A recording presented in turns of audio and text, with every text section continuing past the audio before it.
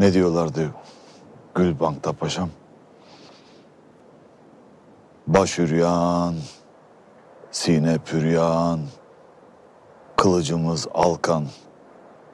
Nice başlar kesilir, hiç olmaz soran. Eyvallah, eyvallah. Bakalım bu gözler daha neler görecek. Baş kaldıranın başı kesilir elbet.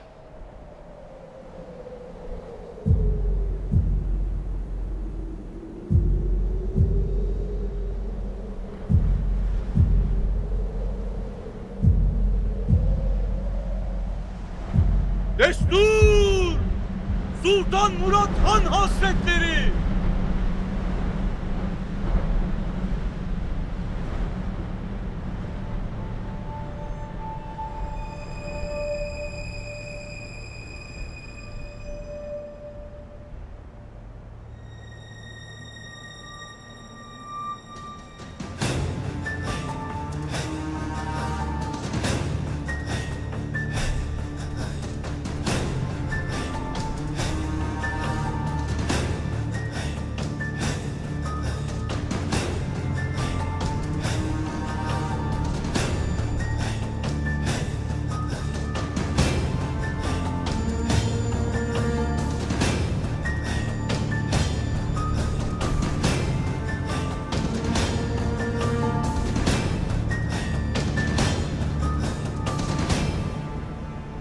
Bu hain ve onun ortası.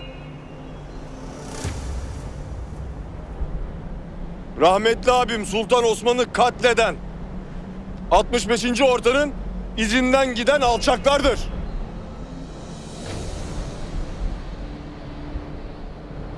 Dün gece canıma kastettiler. Lakin muvaffak olamadılar.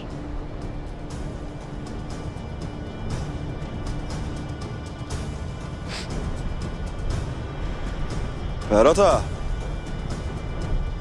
Sanki bu işin başısın. Hançer tutan elsin. Söyle kimden aldın emri?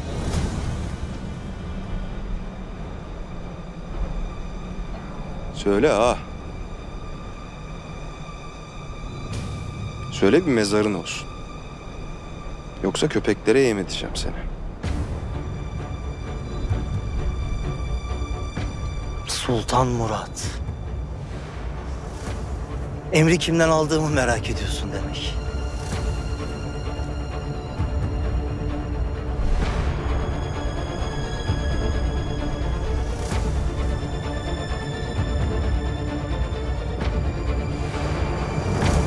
Söyleyeceğim.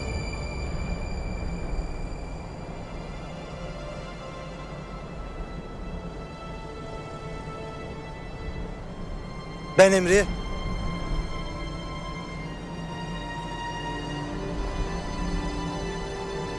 Mazlumlardan aldım. Senin zulmüne uğrayan. Gazabından yaka silken mazlumlardan aldım. Ben muvaffak olamadım. Lakin biri çıkacak.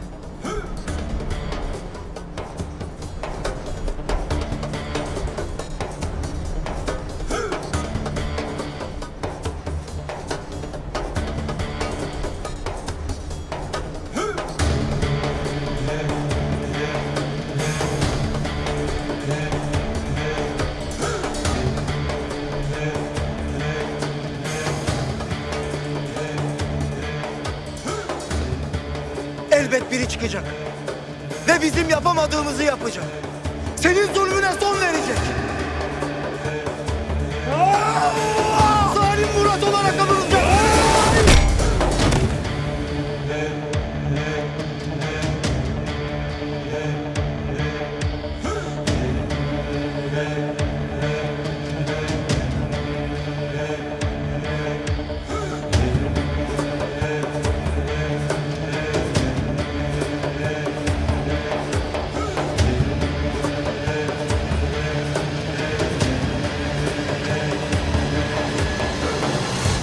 Hıyanet! Kimden? nereden gelirse gelsin. Cezasız kalmaz. Eyvallah!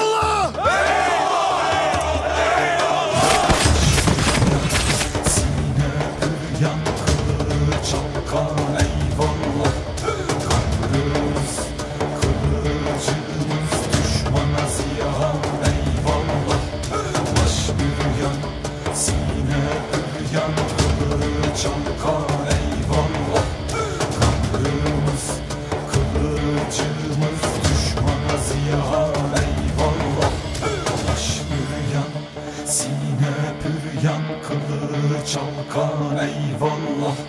Kahrımız kılıcımız düşmana ziyan eyvallah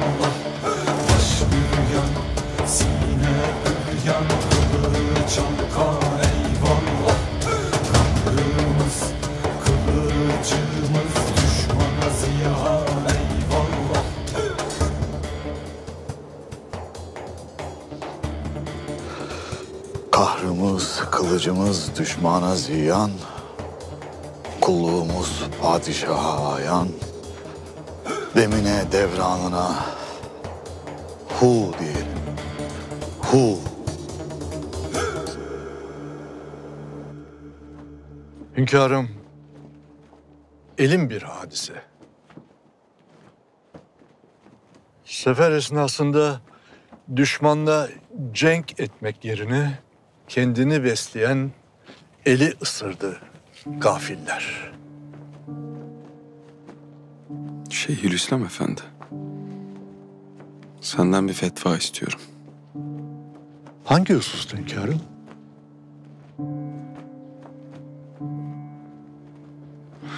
Bir vakit çiftçilikle uğraşan bir Adem yaşarmış.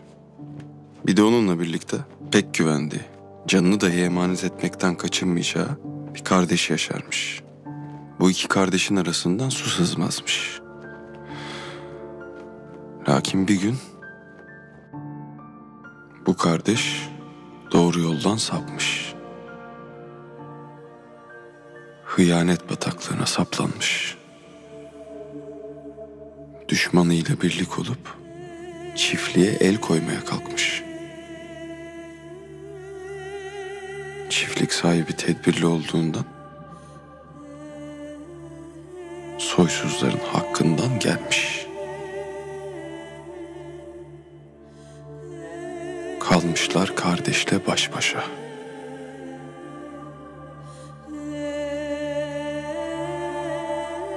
Şimdi El sual.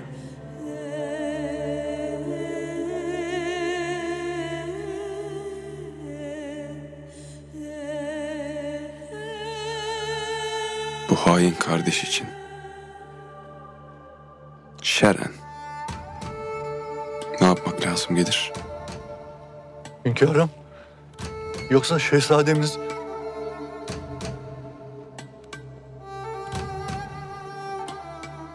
Müsaadeniz olursa ben sualinizi düşünmek isterim. Arzu ettiğiniz üzere fetva olarak takdim ederim. Hala.